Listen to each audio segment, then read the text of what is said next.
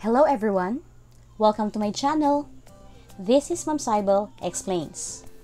This video is all about conversion of metric units from smaller units to bigger units. Suppose we have a question like this. Jared wants to buy 3,000 grams of rice, but the market sells rice packed at 1 kilogram each. How many packs of rice in kilograms will he buy?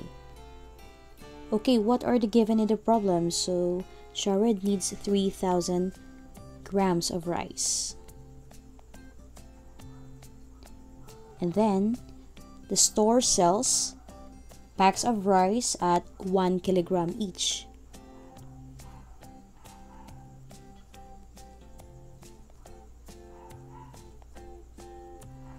Okay. Now, we will convert 3,000 grams to kilograms. Why is that so? Because the store is selling rice packed at 1 kilogram each. Based on the previous video that I posted about conversion part 1, which I will be posting the link below, we must have a guide for us to convert fast and easy. So we'll start with kilogram, hectogram, decagram, gram, decigram, centigram, and milligram. Now, we will identify how many steps will be from gram to kilogram. That is 1, 2, and 3. So if you notice, we go to the left three times. That is three steps. One step is equivalent to divided by 10 divided by 10 divided by 10. In the previous video, as we moved to the right, for each step, we multiply by 10. But this time, it is the opposite. As we move to the left, we divide for each step. You have to remember that if the decimal point is not indicated, it is understood to be immediately to the right of the last digit in the given whole number. The long cut will be, we will be dividing it by 1000 because we have three steps.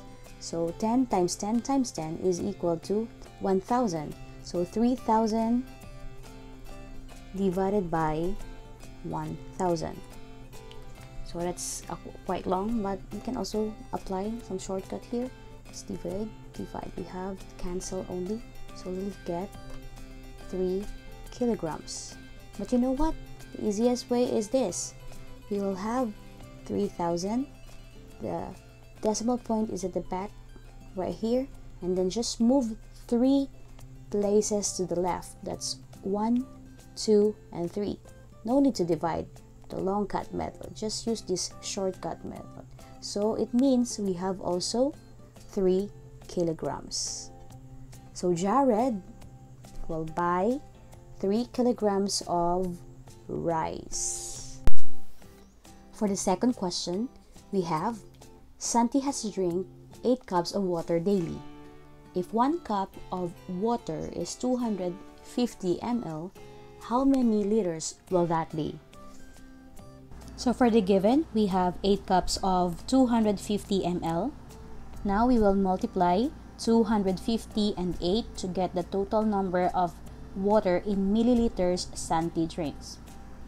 So we get 2000 ml.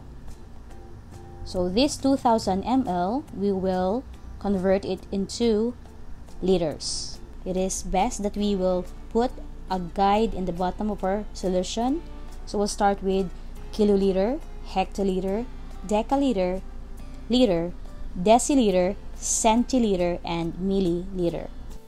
This time, let's identify how many steps will that be from milliliters to centiliters.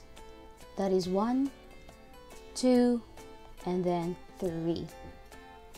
Then that is divided by 10, divided by 10, and divided by 10. Now we can divide 2000 by 1000 where did we get 1000 that is from the three steps. That is 10 times 10 times 10 that's why it's 1000 we can also do cancellation here. That's uh, um, that will give us two liters.